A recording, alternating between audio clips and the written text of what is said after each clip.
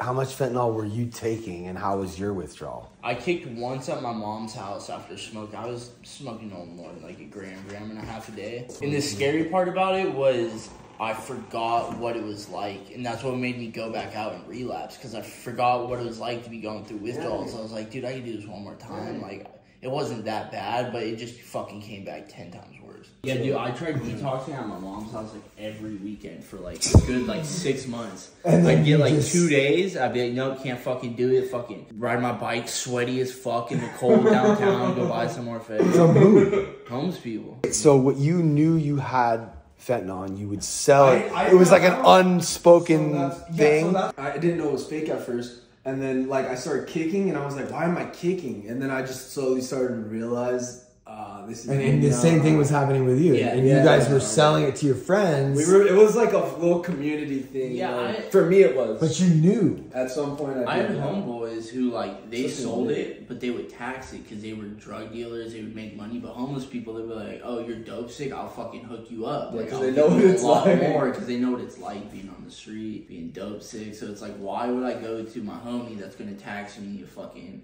eighty bucks a G when I could go get a G for forty bucks downtown from a homeless person? But you're selling it to your friends, and you're like, "Here, the, I think this is chill." You're almost in denial, Yeah. and then people start dying because you have what you think is Percocet, eh, but really it's fentanyl because the Mexican cartels are cutting it with.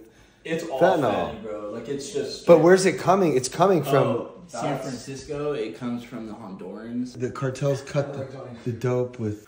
I don't want to say anything about the cartel. I just know I see on Vice News. Fentanyl that's killing people is not from America. It's from China. Blame the Chinese. Oh. They don't actually come over here and chop you up and put you on a bridge with a sign.